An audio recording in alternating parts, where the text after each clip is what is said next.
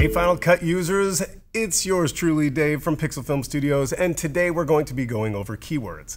Why are they important? Let's find out. Start by selecting the clip you want to add keywords to. Next, open the keyword editor by clicking the key icon found in the upper toolbar. Or you can use the shortcut Command K. In this dialog box, you can type a keyword or keyword phrase and press return to apply it. You will see a blue line appear above clips that have keywords applied to them. Multiple keywords can be applied to a clip. If you have a commonly used keyword, you can assign it to a keyboard shortcut to make it easier to apply. In the bottom of the editor, expand the Keyword Shortcut section. Our existing keywords are assigned to shortcuts by default, but we can replace them with whatever we want. But keep in mind that we're limited to nine keyword shortcuts, so use them wisely. Once you add a keyword, a keyword collection will be added into the sidebar under the event you're working in.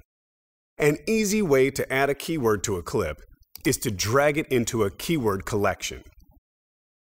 You can select a keyword collection to view any clips that have this keyword applied. This lets you easily view media by keyword, keeping your projects organized.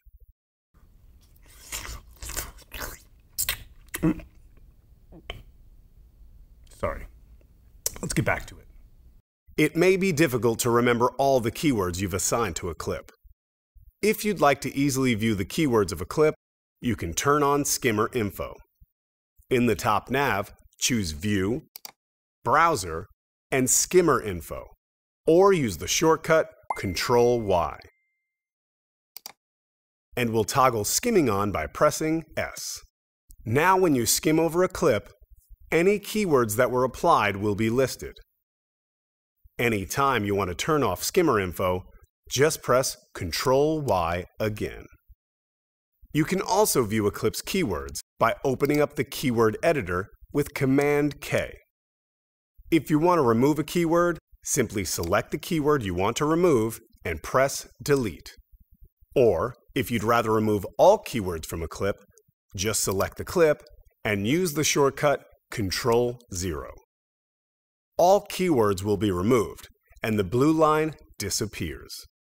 And so, in conclusion, keywords are incredibly important when attempting to stay organized, especially on a big project.